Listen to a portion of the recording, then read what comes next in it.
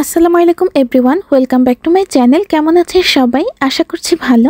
আজ আমি আপনাদের সাথে শেয়ার করব পাকা আম দিয়ে ঠান্ডা ঠান্ডা একটি অনেক মজার ডেজার্ট রেসিপি এখন কিন্তু প্রচুর আম পাওয়া যাচ্ছে, তো এই আম দিয়ে আপনারাও এই ডেজার্ট রেসিপিটি বানিয়ে ফেলতে পারেন। খুবই সহজ রেসিপিতে তৈরি করে দেখাবো। অনেক অল্প সময়ের মধ্যে বানিয়ে নেওয়া যায়, খেতেও অনেক বেশি দারুণ হয়। ছোট থেকে বড় সবাই এই ডেজার্ট রেসিপিটি অনেক বেশি পছন্দ করবে, তো আশা করছি রেসিপিটি আপনাদের ভালো লাগবে।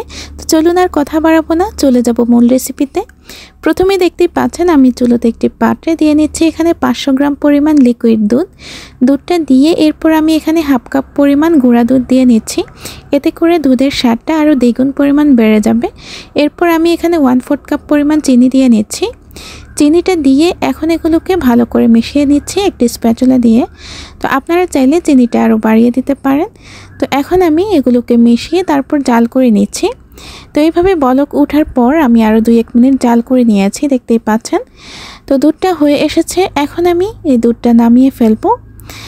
তো দুধটা নামিয়ে এখন আমি এটাকে এক সাইডে রেখে দিচ্ছি ঠান্ডা হওয়ার জন্য। এরপর আমি এখানে ছোট সাইজের একটি মিক্সিং বোল নিয়েছি। তারপর আমি এখানে দুই টেবিল চামচ পরিমাণ দিয়ে নিচ্ছি ইসুপগুলের বসি বসিটা দিয়ে এরপর আমি এখানে কিছুটা পানি দিয়ে নিচ্ছি।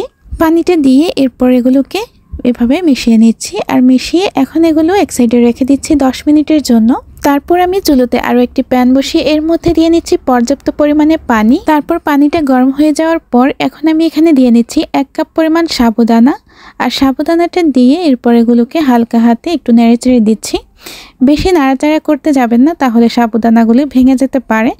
এখন হালকা হাতে এগুলোকে নাড়াচাড়া করে জাল করে নিচ্ছি। তো সাবুদানাগুলো স্বচ্ছ হওয়া পর্যন্ত এগুলোকে জাল করে নিতে হবে। তো দেখুন এগুলো হয়ে গেছে। এখন আমি এগুলোকে একটি স্ট্রেনারের মধ্যে দিয়ে ছেঁকে নিচ্ছি। তো এইভাবে ছেঁকে নেওয়ার পর এরপর আমি ঠান্ডা পানি দিয়ে আবারও এগুলোকে এরকম করে ছেঁকে নিচ্ছি। এতে করে সাবুদানাগুলো ঝরঝরে থাকবে।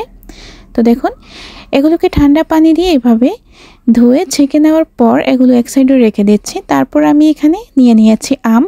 তো এখানে আমি পাঁচটি আম নিয়েছি আর আমগুলোকে এখন আমি কেটে নেব। তো দেখুন, আমগুলোকে এরকম কিউব করে কেটে নিয়েছি। এখন আমি কিছু আম এখান থেকে একটি বাটিতে তুলে নিচ্ছি। আর এই বাটিতে নিয়ে আমগুলো আমি ব্লেন্ড করে নেব। তো দেখুন, অল্প পরিমাণে আম নিয়েছি, এগুলোকে এখন ব্লেন্ড করে নিব। আর এই আমের টুকরোগুলো এক সাইডে নিয়ে নিচ্ছি। আর এখন আমি ডেজার্টটি তৈরি করব। প্রথমেই একটি বোলের মধ্যে নিয়ে নিচ্ছি দুধ। দুধটা নিয়ে এখন আমি এখানে নিয়ে নিচ্ছি সেই স্কুলের বসিগুলো দেখুন, এগুলো কিন্তু ভিজে একদম ডাবল হয়ে গেছে। এখন আমি এগুলো নাড়াচাড়া করে মিশিয়ে নিচ্ছি।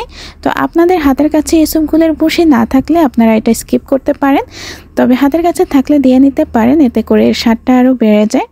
তো দেখুন, এরপর আমি এখানে দিয়ে নিচ্ছি সাবুদানাগুলো। তো সাবুদানাগুলো দিয়ে এখন এগুলোকে একটু স্প্যাটলা দিয়ে নাড়াচাড়া করে মিশিয়ে নিচ্ছি। তো দেখুন, খুব সুন্দরভাবে এগুলো মিশে যাচ্ছে। এগুলো ঠান্ডা পানি দিয়ে ধুয়ে নিলে এরকম ঝরঝরে থাকে। এরপর আমি এখানে সেই আমের টুকরোগুলো দিয়ে নিচ্ছি। দিয়ে এরপর যেই আমের পিউরিটা তৈরি করেছি, ব্লেন্ড করে, ওটাও দিয়ে নিয়েছি এখন সবগুলো উপকরণ স্প্যাটলা দিয়ে নাড়াচাড়া করে মিশিয়ে নিচ্ছি।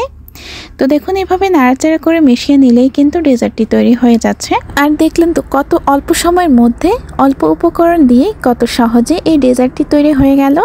আর এই ডেজার্টটি খেতে যে এত দারুণ হয়, এটা আপনারা বাসায় তৈরি করলেই বুঝতে পারবেন। এখন কিন্তু সবার ঘরেই আম পাওয়া যাবে। তো এই আম দিয়ে আপনারাও অল্প কিছু ঘরোয়া উপকরণ দিয়ে এই ডেজার্টটি বানিয়ে ফেলতে পারবেন খুবই সহজ রেসিপিতে। তো আশা করছি আমার আজকের রেসিপিটিও আপনাদের ভালো লেগেছে। আর ভালো লেগে থাকলে প্লিজ আমার ভিডিওটিতে একটি লাইক দিবেন আর কমেন্টস করে জানাবেন আমার রেসিপিটি কেমন হয়েছে। আর আমার রেসিপিটি আপনারা ফ্রেন্ডস অ্যান্ড ফ্যামিলির সাথে শেয়ার করে দিতে পারেন। এবং আমার এমন সহজ সহজ এবং মজার মজার সব ধরনের রেসিপি পাওয়ার জন্য আমার চ্যানেলটি সাবস্ক্রাইব করে সবসময় আমার পাশে থাকবেন। সাথে আমার পেজটিও ফলো দিয়ে রাখবেন। তো আজকে এই পর্যন্তই। সবাই ভালো থাকবেন। আল্লাহ হাফিজ।